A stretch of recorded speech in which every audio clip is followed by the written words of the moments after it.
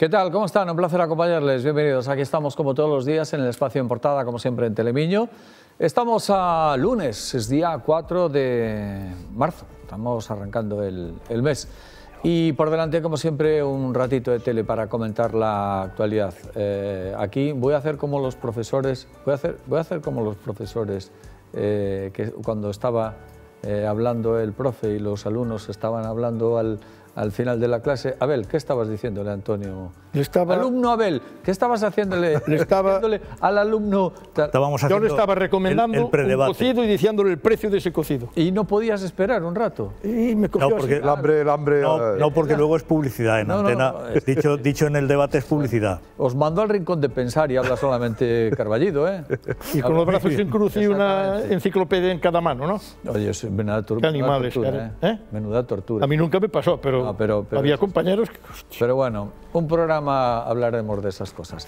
Bueno, están con nosotros el equipo médico habitual de los lunes, que son Pepe Carballido. ¿Qué tal, Pepe? Muy boas. Muy boas. Y ya saludé también así de aquella manera a Antonio, lo hago eh, oficialmente. ¿Cómo Me, estás, Antonio Valle? me doy por saludado. Un cordial saludo para todos. Exacto. ¿Y cómo estás, Abel Fraga? Fenomenal, y obser- yo observo la cara de satisfacción de Pepe Carballido, porque nuestros espectadores no saben que se acaba recién jubilado. Entonces Bueno, ya pues- se le nota, se le nota. Un programa más, siempre que viene Abel Fraga, eh, siempre dirige él el, el programa. Por lo tanto, ¿quieres venir para aquí? No, Me cariño. voy yo al, al No, de querido Antonio. No, porque es que tenía, tenía, le tenía pensada, le tenía prevista una sorpresa Perdón. a Pepe Carballido, pero a la hoy.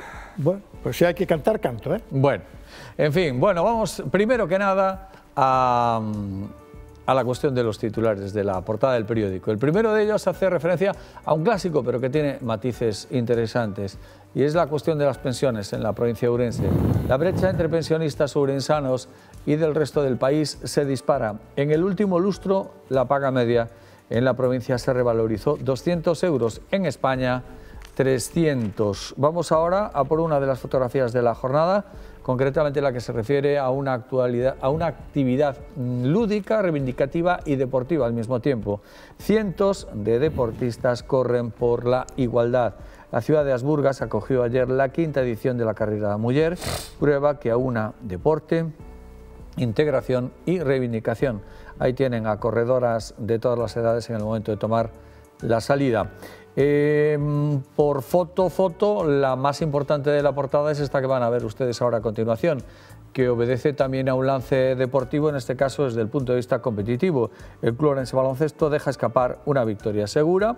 Los ourensanos regresan de Burgos con una derrota ante el Tizona después de disputar un muy buen partido que echaron a perder en los últimos minutos. Al final del resultado fue 85 a 80. Dos apuntes más en el apartado más deportes.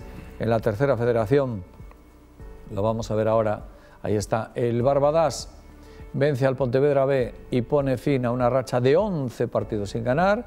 En Primera Galicia el Polígono gana al Seixalvo y sueña con el playoff. Al final el resultado fue de 3 a 1. En lo alto de la portada, pues una iniciativa del Sergas en Ourense que tiene a Miguel Pérez de Juan, cardiólogo, como responsable de una nueva unidad de rehabilitación cardíaca para el complejo hospitalario. También Ana Peleteiro, volvemos a los deportes por lo tanto, la atleta gallega regresa con una medalla de bronce de los mundiales, además, sin duda una noticia importante.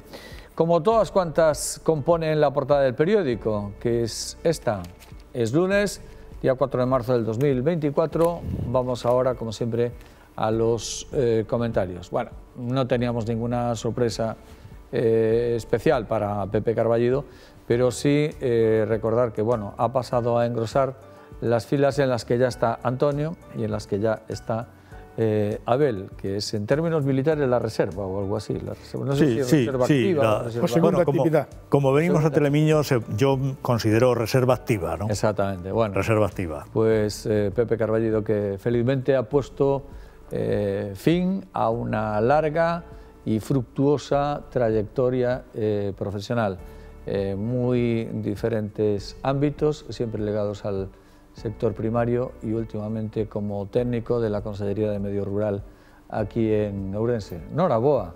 Pues muchas gracias. Foi ¿Cómo un... estás? Moi ben, a verdad que é unha sensación agridoce porque, bueno, por un lado, efectivamente, chegas a ese momento que estás esperando de, de poderte retirar e, e non despertar co, co despertador e poder despertar xa cado, con dolor de ciática ou cosas destas que te despertan igual a mesma hora, pero, pero non é o mismo, non? Entón, bueno, pois pues, efectivamente, foron 44 anos de actividade profesional, que creo que é suficiente para, para, para deixar relevo xa a outros que veñen. Non? Ojalá que a miña plaza se ocupe de forma inmediata e por outra persona para que poda seguir desenvolvéndose ese labor e os demais tocanos un poquinho, pois, poñernos eh, de lado mm, para disfrutar de outras cousas. Non, eu, eu digo, son dos que digo que os, os jubilados non, non traballan, enredan, non? E eu creo que iso é o que pretendo ahora, a partir de ahora, enredar, é dicir, non traballar, pero tampouco quedarme quieto, non creo que non é bon eh, pois, quedarse quieto. Pero, bueno, facer cousas con outra perspectiva. Non? Bueno, e ahora este tipo de noticias que antes veías como, bueno, como algunha vez tocará, ahora E xa ves como isto vai, vai claro, meu. Claro, sí, sí, sí, porque agora efectivamente os titulares de la brecha de pensionistas agora xa son eh, pensionistas, non? Bueno, e que opinas, pues, por certo, sobre esta cuestión? Bueno, vamos a ver, temos un problema eh, en Ourense eh, desde, fai, desde sempre, non? Do sistema eh, productivo. Claro, Ourense é unha provincia cun, que tuvo desde sempre un sector primario mm, eh, ligado á agricultura basicamente moi importante, co cual eh, non era fácil poder cotizar, non? e sobre todo en réximenes eh, de seguridade social agraria ou de autónomos, que durante moitísimos anos non había ni siquiera o régimen este, senón que era unha especie de régimen de autónomos, hasta que chegaron ao régimen xeral. Entón, claro, son cotizacións eh, baixas porque están ligadas a unhas producións escasas, moitas veces de autoconsumo, sí. o cual fai que, claro, chegada a esta edad, pois, eh, teñamos unhas pensións eh, moi por debaixo da, da media. Pasa que a veces é moi difícil, eh, cando falamos de medias, as medias sempre son complicadas de, de procesar. E injustas. Eh, exactamente, son informacións moi, moi complexas. A realidad é que, que ainda que agora as pensións están subindo co, co IPC, eh, se son moi baixas, aínda que se actualicen o IPC, non dan para chegar, non? Porque estamos vendo, bueno, e eu, eu compro, non fai falta ser pensionista, tú vas ao supermercado, fai oito anos enchías un carro con 60 euros, logo, fai 4 anos, facía falta 90, e agora ese mesmo carro xa costa 140 euros, non? É dicir, hubo un proceso que iso visualízase ben, non? Porque, vale, se o IPC sube o 7%, 4, 5, pero no carro da compra vese moi ben, non? Sobre todo porque produtos eh, agrarios, agroalimentarios, na cesta da compra, hubo unhas subidas eh, moi importantes, moi importantes, non? Xa non digamos casos escandalosos como aceito por aí, pero bueno. Sí. E claro, iso que se nota no día a día, porque o demais podelo eh, o mellor evitar, e dicir, bueno, pero non fago gastos eh, extraordinarios cando teño un, uns recursos escasos, pero que hai uns gastos que son fundamentales, como é a alimentación, non? E aí notase, notase, non? Perfecto, muy bien. Antonio. Bueno, yo lo primero, darle la enhorabuena a, Carballido por venir a este club en el que te aseguro que no te vas a sentir solos. ¿eh? Es uno de los clubs más numerosos de, este, de este país y seguramente vas a poder enredar mucho hasta el punto de preguntarte, como muchos, con gran sorpresa cuando pasamos a, a, esta, a este estadio de, nuestra vida, descubrimos, digo, "Oye, tienes tantas cosas que hacer que dices, ¿de dónde sacaría yo antes tiempo para trabajar, verdad? Bueno, dicho esto, eh, pues vamos a, a confiar en que las pensiones, ahora que nos afectan a todos personalmente, no estén en cuestión ni estén en peligro. Y es cierto que el, el tema de, las bajas pensiones tiene que ver con el sistema de cotización. Yo no sé si hay algún, alguna alternativa al sistema de cotización, porque claro, la cotización baja, pensión baja. Quizás por la vía de la revalorización podría compensarse ligeramente. La revalorización puramente porcentual siempre incrementa la brecha. Eh, la pensión más alta, porcentualmente un 3 o un 4% de subida, significa más que, que en la pensión más baja. A lo mejor mm, tendría que haber un sistema de revalorización o de, o de incremento lineal de la pensión para que no se aumentara la brecha. No sé cómo se puede hacer, pero es cierto. te doy una pequeña idea, topar algunas. Es decir, Yo, yo, no, yo no, no, no sé si topar. no, escúchame una cosa, es decir, al final, a, a lo mejor una persona que cobra una pensión por encima de 2.000 euros no necesita tanto una subida... Bueno, Pero ya está topada la cotización, cuidado. No, pero, ya, pero es sí, diferente. no, pero Lo que me refiero es a la, a la subida. Yo no soy lo que yo- decía- yo, no soy tan partidario de topar cuanto ver, de un que poco lo que decía, eh, cuanto de Pepe que las subidas no sean tanto proporcionales como lineales. Pero Esto si lo discutíamos cuando éramos subidas- jóvenes. Pero escucha, si tú primas en las subidas las rentas más bajas, si vas a las rentas más bajas, es decir, si estableces una subida de un 5% en las, en las rentas más bajas lo dejas en un 2,5%, en un 3% en las rentas más altas, igual lo corriges un poquito la brecha. Es, es que es exactamente lo que estoy diciendo. Estoy diciendo que en vez de ser porcentuales, directamente porcentual, el que tiene 1.000 cobra el 3% y el que tiene 3.000 cobra el, eh, el 3%, el 3% de 3.000 es mucho más y siempre aumenta la brecha. Sin embargo, si la subida es un 3%, se considera la masa, la masa económica de subida y se distribuye de una manera no tanto, no tanto mm, directamente proporcional como lineal. Esto se discutió mucho tiempo cuando éramos jóvenes. Yo creo que lo discutíamos en los convenios colectivos. Oiga, no vamos a hacer subidas proporcionales, sino subidas lineales. Es decir, 100 euros para todo el mundo por 100 euros para todo el mundo. Y eso quiere decir que no se aumenta la brecha entre los altos y los bajos. Pero de de verdad que no sé cuál es el sistema. Es cierto que hoy, eh, con una pensión de 700 euros, es muy difícil vivir. Y de 900, no sé en cuánto está la media, pero he visto por ahí que La está mínima. alrededor de Vamos a ver, 900 la euros. media en ¿no? Ourense- mínima. La media en Ourense es de 900 De euros. 900 euros. Pero en la media de las pensiones, que a veces eh, hay cier- eh, induce a error eh, algunos términos, es la media de jubilación, Todas. viudedad, Claro, familiar, Sí, sí, sí. Todas, todas. Sí, etcétera, sí, etcétera. sí. La de jubilación, la de jubilación ya está, por fortuna, en 1.200 euros. 1.250, lo estoy viendo aquí, sí. No obstante, eh, la, la viuda que viva de una pensión de viudedad también tiene que vivir. Por Claro, tanto, sí, en fin, sí. la media de las pensiones es eh, 926, que yo creo que es muy difícil vivir con eso.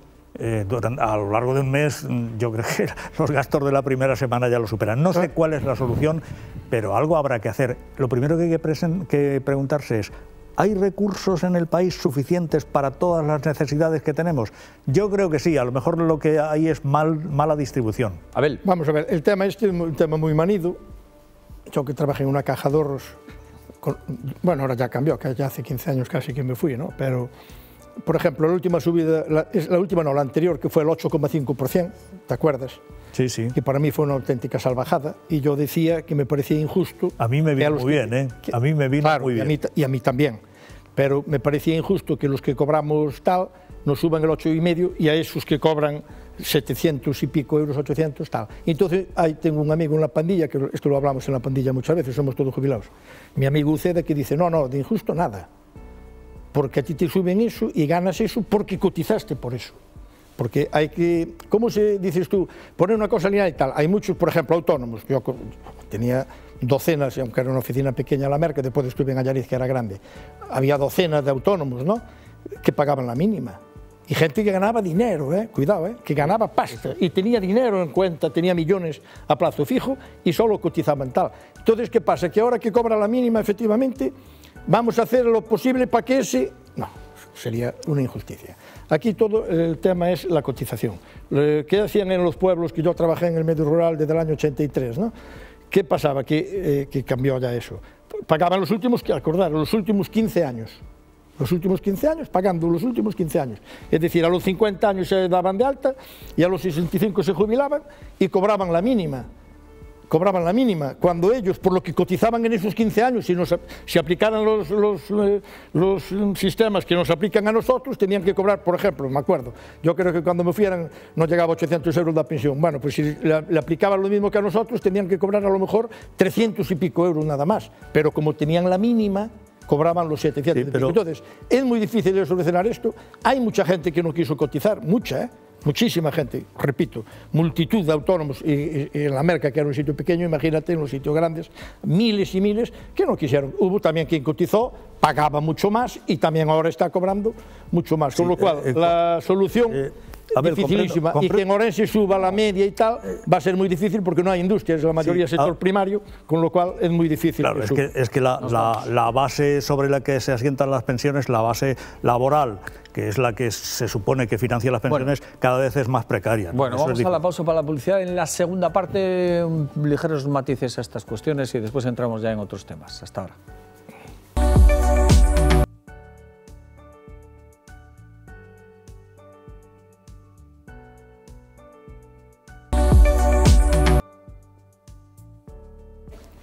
Segunda parte del programa, hoy con Pepe Carballido, Antonio Vallejo y también Abel Fraga. Estamos hablando de las eh, pensiones y Abel sigue... Fíjate. Carballido, ¿qué Por libre, va. Sí, A ver, sempre- Son. Bueno, entonces miramos por tú. Lleu. Me pasaba en el colegio, estáis- que conste que en el colegio me pasaba. Hoy estáis de alumnos díscolos los dos, ¿eh? es que no hay manera, ¿eh? no hay manera. Bueno, cuestión de las pensiones, ya último eh, fleco. Sí, vamos a ver, tenemos que pensar que somos un país en que hay que intentar, intentar eh, ser solidarios en determinados aspectos en que hay, pues, por ejemplo, esta grande diferencia, ¿no? non podemos, eu creo que ir á excepción, non? Senón que hai que ir un pouco á regla. Efectivamente, hai xente que, que pudo cotizar moito, moitísimo, non cotizou, é certo, vale?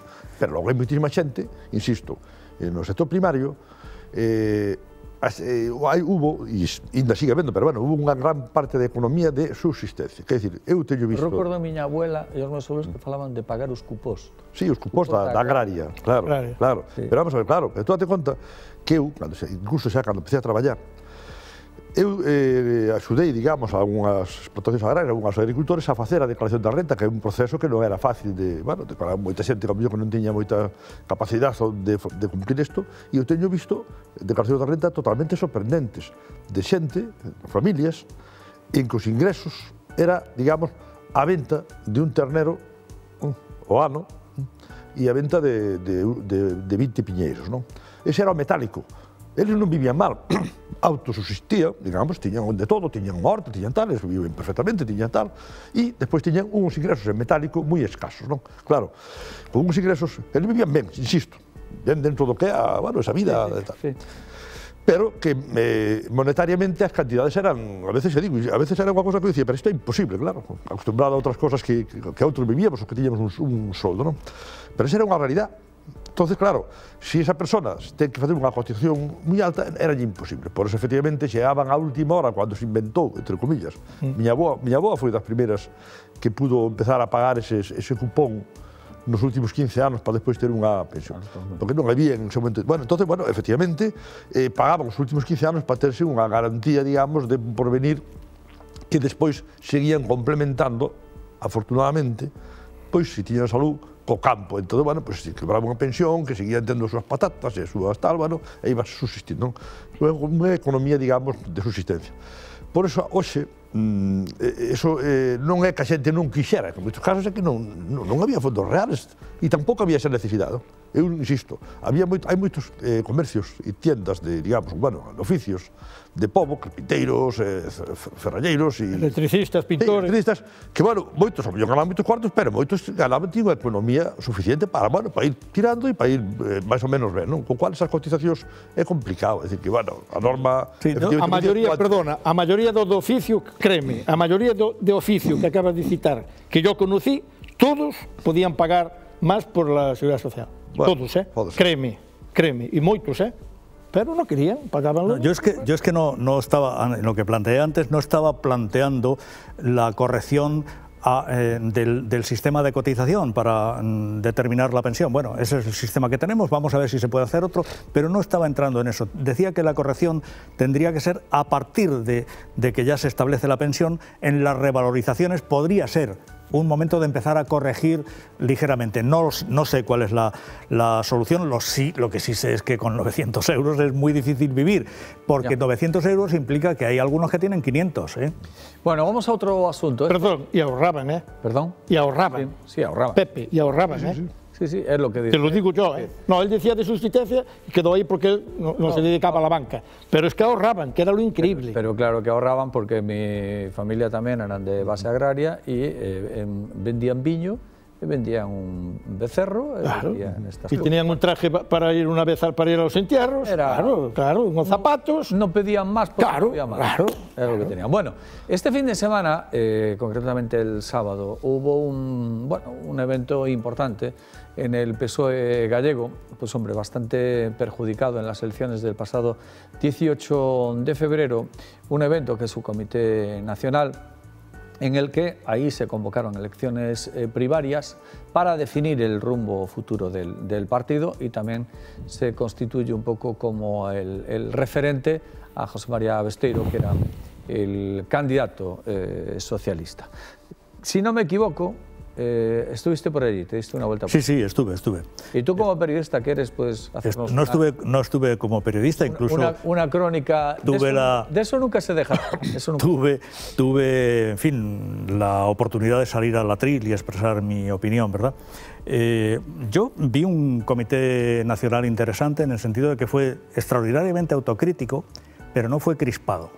No fue crispado, que normalmente después de, una barrida electoral de este calibre, los, yo he visto con resultados mucho mejores, mucho mejores, incluso manteniendo los resultados hace 15 años, cuando Touriño mantuvo los resultados, pero no se mantuvo el gobierno, y hubo un comité nacional muy duro, ¿eh? muy duro y muy crispado. Ahora mm, he visto un comité nacional bastante constructivo, pensando que mm, hay que corregir el rumbo no de este último de esta última etapa, sino de los últimos 15 años, que no se puede convertir el Partido Socialista en una máquina de picar candidatos y de picar proyectos a los cinco minutos ahí en el primer embate de los elementos, ¿verdad?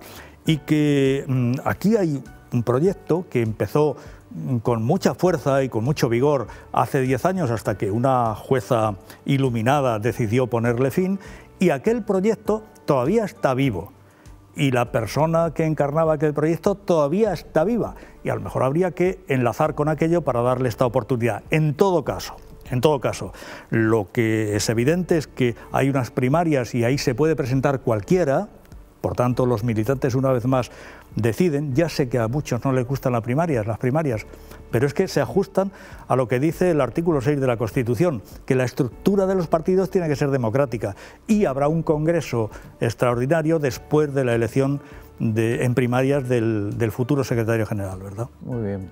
Eh, Abel, Me parece muy bien lo que dice Antonio.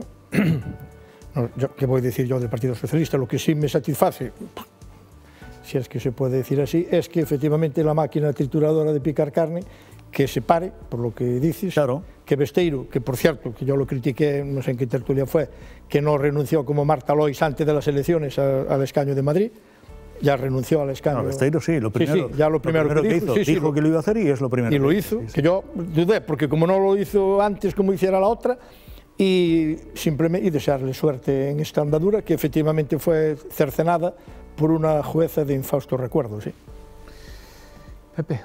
Sí, indo por esa última parte, é certo que unha, calquera organización ou calquer empresa, incluso, eh, que ten un proxecto e que está desenvolvendo unha actividade, cando veñen factores externos, factores exóxenos, e interrumpen aí dentro, normalmente rompen o, o que está montado, que é o que fixo, en este caso, a jueza, que non só destrozou pois, unha relación política, sino que gobernos municipales e, e bueno, e agora estamos vivindo que daquelas... Sí. De, daqueles polvos te, temos estos lodos, non? Vale, é certo. Do outro, bueno, vamos a ver, é certo, mira, os partidos políticos están formados por personas, non? E sempre que hai máis de dúas personas, a partir Casi de todos, eh. Este, eh, casi el, el 100% casi el, son personas. son personas, casi 100. Casi el 100%. Casi 100%. Entonces, eh, cuando, cuando hai máis de dúas personas, incluso unha sola a veces, pero bueno, normalmente cuando hai máis de dúas, sempre hai diferencias en, en distintas opinións. Pasan nas familias, nas parellas e pasan nos grupos, nos colectivos. Iso moi mirado as personas. Cando hai, cando as cousas van ben, a cousa pois suele, bueno, mira, miras con outras luces e outros colores. E cando as cousas veñen mal dadas, solemos ser moitas veces eh, hipercríticos e incluso a veces irracionais, é dicir, somos moi de ir á caza de, a veces de, sin analizar a veces pues, de, de determinados elementos. Non o digo neste caso polo Partido Socialista, que ignoro evidentemente os seus entresijos, pero nas organizacións políticas na que eu estuve ou estou, pois sí que tamén pasan estas cosas, dicir, cando hai unha situación, eh, digamos, mala, sí, me parece que a xente ten gana de, de cortar cabezas a alguén que sí, con eso solucionara. E a veces desprendémonos de activos moi importantes simplemente por non facer unha análise racional. Por lo tanto, celebro o que dice eh, Antonio porque eh, es, es, os congresos e, os, e as asambleas e as reunións deben ser servir para eso. Cada un que diga, evidentemente, o que queira, que exprese, pero que haxa un, nivel de racionalidade suficiente para que as decisións que se tomen sean as que hai que tomar. No, no, que, eh, que eso fue, para mí también fue una sorpresa, ¿eh? el tono general de un comité nacional que se preveía muy bronco porque los resultados la verdad es que son muy malos y sin embargo me sorprendió que en 70 actuaciones no hubiera ni una sola salida de tono. Evidentemente la gente estuvo muy crítica y todo el mundo dijo lo que, lo que tenía que decir y algunos seguramente apostarán a una alternativa a, a candidato, al candidato Besteiro, que creo que se va a presentar a las primarias del día 7. No obstante, no obstante, ya está bien eh, me, y me parece muy razonable que por una vez una organización haga una reflexión serena. Estamos mal, estamos fatal.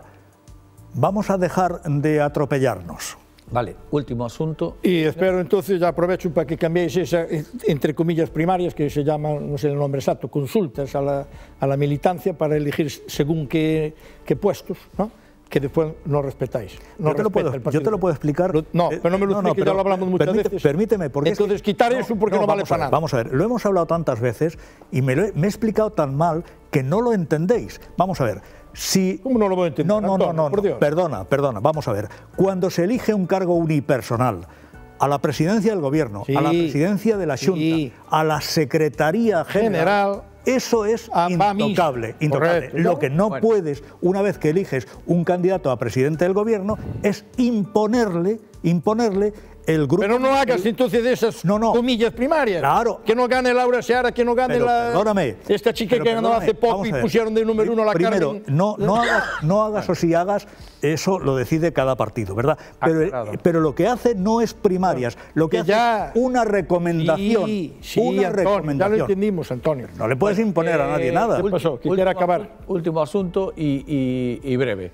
Eh, en el- a lo largo de la semana pasada hubo varias referencias en el Consejo de Ourense en relación a, bueno, a los eventos judiciales, a una denuncia presentada por los llamados díscolos y sobre todo también y al plazo de que está a punto de cumplirse 10 meses sin que haya noticias eh, de la justicia en relación a los, a los asuntos eh, que tiene pendientes con ella Gonzalo Pérez Jácome. Eh, sobre esta cuestión, ¿qué opinas? Pues eh, como quieres que se hable poco y escuetamente, porque quedan dos minutos. Quedan tres minutos. quedan dos minutos y pico. A mí me parece, lo dije aquí, lo vuelvo a decir, que me parece inaudito que no haya habido una actuación más importante por parte de la Fiscalía, como si sucedió en casos tanto del PP como del PSOE como del Bloque, que enseguida van allí, que enseguida algunos los detienen. Bueno, ya no hablemos del caso de Paco, que fuera increíble. Yo creo que por menos que esto, sinceramente, las escuchas que había eran menos que estas y lo metieron en un, en un calabozo sin poder comunicar, sin comunicado, sin fianza y tuvo que pedir un habeas corpus el abogado. Entonces, no entiendo la situación, sinceramente. No, vamos a ver. eh, yo confío poco en que la situación del Consejo de Ourense la resuelva la justicia. Los jueces. Es tremendo. La, página de hace unos días sobre el apagón judicial es para hacérselo mirar, ¿eh? Es para hacérselo mirar. Pero es que yo creo que la, la situación del Consejo de Ourense no la tiene que resolver la judicatura, la tiene que resolver la política. La política. Los que pueden resolverlo. El Partido Popular, el Partido Socialista Pero un momento que creo que tenemos ahí un problema en el audio, ¿es así? Creo que tenemos un problema con, con tu audio, te pido disculpas. Eh, creo que mm, anota en dónde quedas. Eh, Carballido, le hago la, la misma pregunta. Era Bueno, así, ¿no? Sí, creo que sí. Vale, perdona. Bueno, pois aproveito a voz de Antonio para apoiar o hueco que me deixa. Bueno, en todo caso, sí, é certo, vamos a ver. eh, eu non entendo da, o tema, a, a postura judicial en este proceso non a entendo, sinceramente, porque eu pasei polo xulgado, felizmente asolto despois de seis anos, pero tuve que ir 50.000 veces ali a declarar unhas cousas que me parecía a min que non tiña moito sentido e ao final, efectivamente, quedou unha solución, pero botei seis anos, non? Pero desde o minuto un eu tuve que ir ali a declarar. E aquí levamos con un caso que a mí parece personalmente moi escandaloso o que eu vin e escoitei e vin na prensa para que non se teña tomado absolutamente que eu sepa ninguna medida. Non? Hai unha imagen para min demoledora. Non? Xa non digo o resto. Hai unha foto que sale un día de dous señores salindo da Plaza do Trigo, do edificio municipal, con unha mochila cargada de algo, non sei de que. De madrugada. Ás tres da mañá ou ás dos da mañá. Simplemente eso, mm, eu creo que eu non entendo efectivamente, afortunadamente, incluso tampouco desto. Pero se eu vexo algo así, mm, con a imagen tal, eu creo que o primeiro que faría sería automáticamente facer unha intervención e dicir, che, quietos, quietos, non saca usted nada aí. A medida preventiva, porque estamos falando de un eh, edificio público, municipal, e que ás tres da mañá, despois de salir unhas publicacións nos medios e unhas cousas, dúas personas, mm, moi conocidas, evidentemente, están sacando algo de ali. Eu creo, parecía a mí, vamos, que o normal sería unha intervención inmediata. Dice, oye, vámonos, quieto, non pasa nada. Para usted, seguramente non está haciendo nada malo, pero para usted, porque, bueno, eh, bueno, pues eu, desde que en ese momento non pasou absolutamente nada, xa quedei literalmente sorprendido. Eu, personalmente, non confío en absoluto en que isto se resolva judicialmente. Doy a razón a Antonio de que isto hai que resolverlo tamén políticamente. Sí, pero eso non quita que judicialmente, porque si non temos ese, ese parapeto judicial que, que de, ese, tercer poder que establece a democracia, entonces estamos perdidos. Bueno, yo re- repito lo- la intervención esta que hábilmente se quedó en el limbo por, el, por el audio. ¿no? Vamos a ver, eh, decía que a mí me parece muy inquietante la, la página de, de hace unos días de la región que decía que hablaba de un sospechoso o por lo menos inquietante apagón judicial en este caso. ¿no? Eh, la justicia tendrá que decir algo, pero no dentro de 25 años, tendrá que decir algo. Algo, sí, no, no hay nada, pues no pasa nada, lo que decida la justicia está bien. Pero también decía que yo no creo que debamos fiar la solución del Concello de Ourense a la justicia, que la solución del Concello de Ourense, más allá de lo que diga la justicia, cuando lo diga, si es que quiere decirlo, ¿eh? y allá ella, es política. Y eso tienen que resolverlo los políticos, concretamente los partidos Popular, Socialista y la colaboración del BNG, que son los que tienen números números para solucionar el problema. Fuera de eso, que el juez quiere hacer algo, que lo haga, que no, allá él con su conciencia o con su responsabilidad. Bueno, pues lo dejamos ahí. Eh, señor jubilado, ha sido un placer. Un gran placer. Eh, disfrute usted de su bien merecido descanso. Decir que é a primeira vez na miña vida que me sento nesta silla como jubilado, Qué é outro acto curioso. Qué barbaridad. ¿Sabes, sabes a diferencia? Eu cando, cando estés en la circunstancia xa non me sentaré nesta Claro. silla. Pues, eh, co- como decía Rick al final de Casablanca, bienvenido a la causa. Exactamente. Eh, gracias, Antonio. Hasta la próxima. Un placer. Ha sido un placer, Abel. Hasta siempre. Y a todos ustedes, como siempre, muchísimas gracias. Volvemos mañana. Pasen un buen día.